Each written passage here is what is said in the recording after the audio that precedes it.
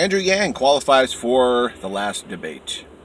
So, December is the last debate of the Democratic debates, and Andrew Yang was the seventh, I believe, the seventh and final qualifier for the December debates. So that's nice. It's a small field. Um, I'm glad he made it. Uh, you know, I remember a long time ago, me and Josh from New Progressive Voice were talking about you know Andrew Yang in December. Where's where should he be at? And we were thinking 10%. We were thinking at the end of December, you know, 10% is solid for Andrew Yang. So right now, I would say Andrew Yang's best poll is 6%. Not terribly off from our predictions. But if he wants to get 15% from delegates in all 50 states, it's got to be 15%. He's got to be polling at 15. You know, it's the only way he can get there.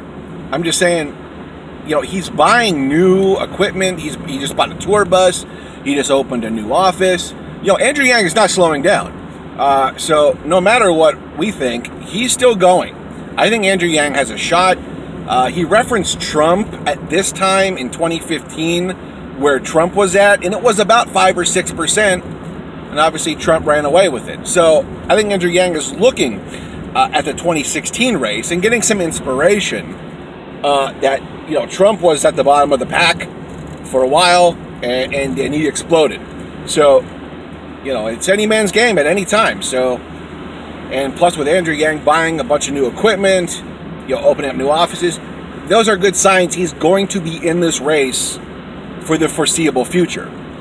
So don't look for Andrew Yang to stop, drop out, or anything. They're going full speed ahead. Uh, no matter what his poll numbers are, they believe it's good enough for him to continue.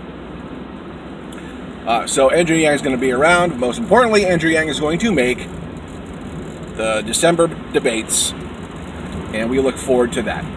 We'll do a video on that for sure, uh, post wrap up of the debates. So, hope you're having a lovely day. I will talk to you soon. Like, share, and subscribe.